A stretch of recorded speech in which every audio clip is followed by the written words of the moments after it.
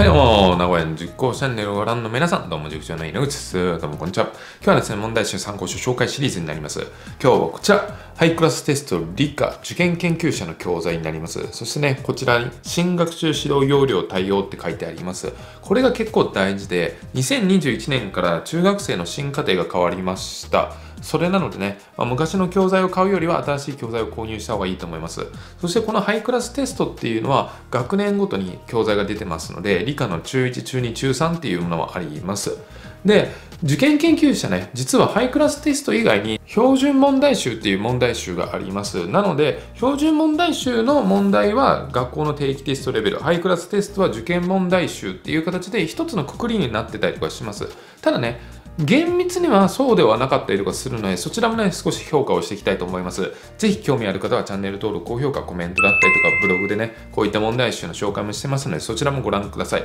それではどうぞ。はい、じゃあ話をしていきたいと思います。この教材、受験用定期テスト予習復習用。定期テストの難しめ、受験問題集の簡単めって感じですかね。まあ、基礎を埋めるとはまたちょっと違うかもしれないんですけども、受験問題集としては少しレベル的にも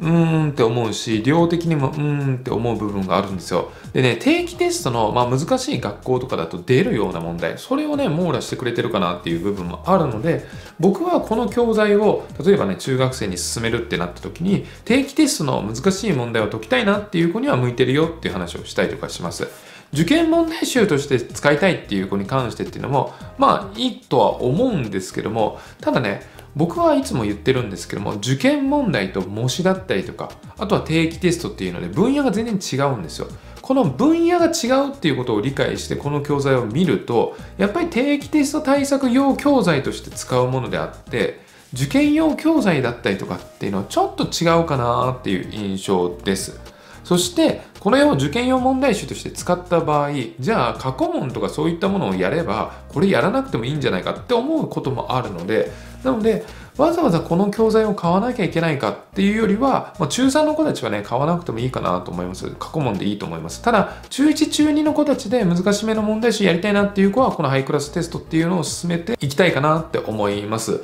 まあ、皆さんね、これはね、まあ、受験研究者の教材なので、非常に見やすいですし、量的にも、まあまあそんなに悪くないって感じですね。ステップ A、B、C っていうそういったレベルに分かれてます。まあ、B までが大体定期テストくらいかな。C になるとやっぱ受験問題がちょこちょこ出てきてるかなっていう感じがします。一応問題自体は受験問題をピックアップしてるので過去問ではあるんですけども少しね量的にも、うん、レベル的にもちょっと受験問題っていう